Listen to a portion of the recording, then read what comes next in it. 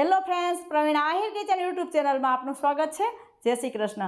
મિત્રો, આજે આપણે બનાવીશું મેથી અને કેળાના ભજીયા. અને જો મિત્રો તમને મારા વીડિયો સારા લાગતા હોય તો લાઇક અને શેર જરૂરથી કરજો. અને હા મિત્રો, મારી ચેનલમાં નવા હોય અને હજી સુધી સબસ્ક્રાઈબ ના કર્યું હોય તો પ્લીઝ સબસ્ક્રાઈબ કરી દેજો.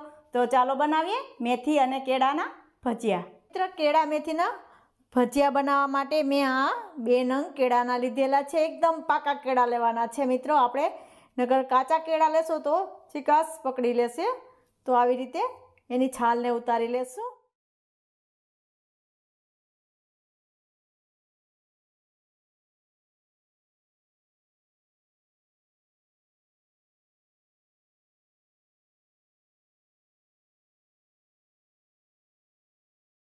તો મિત્રો, આવી રીતે મેં છાલ ઉતારી લીધેલી છે. હવે આપણે આ છરી કાંટાથી આવી રીતે કરી લેવાનું છે.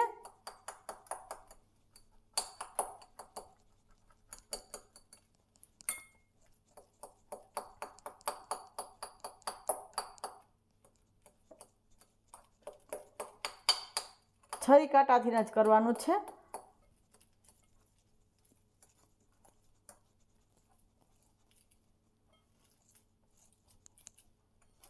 આવી રીતે સરસ કરી લેવાનું છે.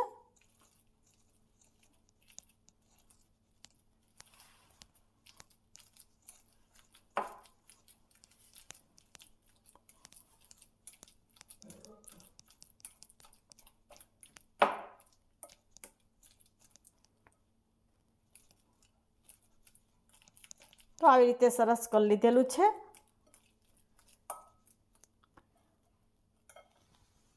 હવે મિત્ર આ મેં મેથીને એક પૂરી આવે લીધેલી છે અને આને પહેલેથી જ સુધારી અને ધોઈ લીધેલી હતી. તો હવે આપણે એમાં જવા દઈશું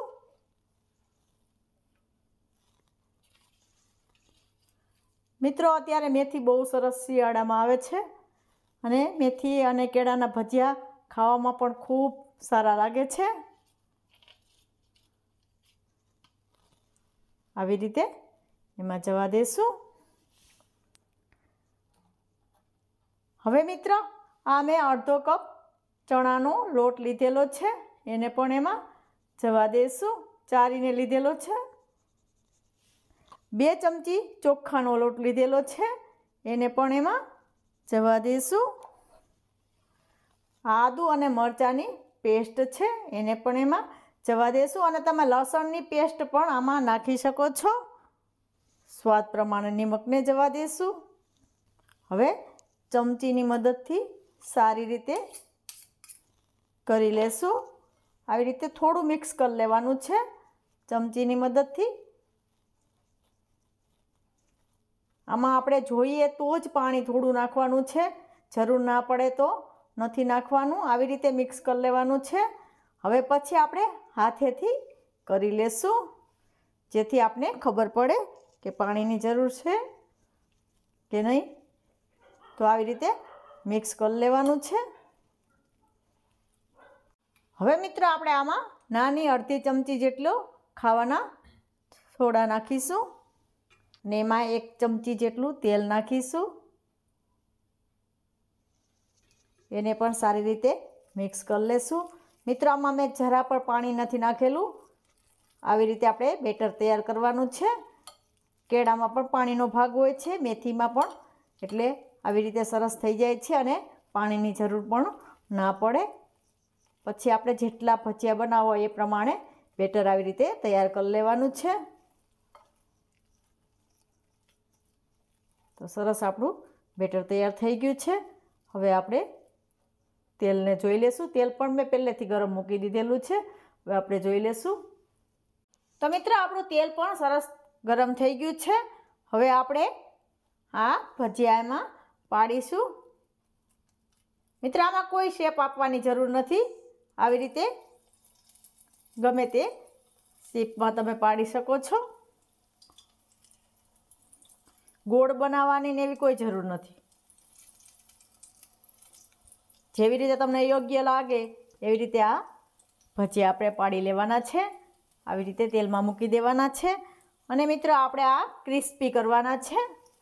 ભજીયાને એકદમ સરસ ક્રિસ્પી અંદરથી સોફ્ટ અને ઉપરથી ક્રિસ્પી આ ભજીયા બનાવવાના છે. જેટલા આવશે એટલા આપણે એમાં કરી લેશું.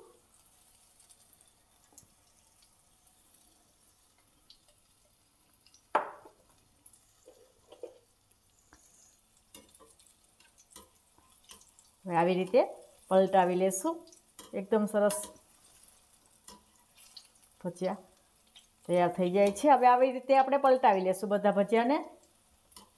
તો મિત્રો, આવી રીતે સરસ આપણા ભજીયા ઉપરથી ક્રિસ્પી થઈ ગયા છે અને અંદરથી એકદમ સરસ સોફ્ટ હશે. તો આવી રીતે આપણા ભજીયા તૈયાર થઈ ગયા છે. હવે આપણે આ કાઢી લેશું અને બીજા આવી રીતે બધા જ કરી લેશું.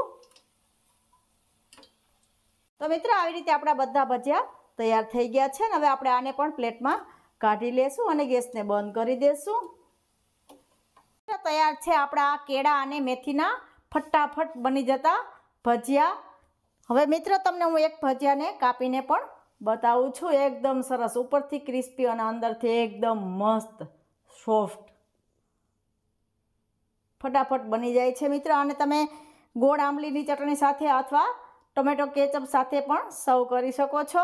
તો મિત્ર, કેવા લાગ્યા કેળા અને મેથીના ભજીયા એ મને કોમેન્ટ બોક્સમાં જરૂરથી જણાવજો અને આવી જ નવી નવી રેસીપીઓ જોવા માટે મારી ચેનલને સબસ્ક્રાઈબ કરવાનું બિલકુલ ના ભૂલતા.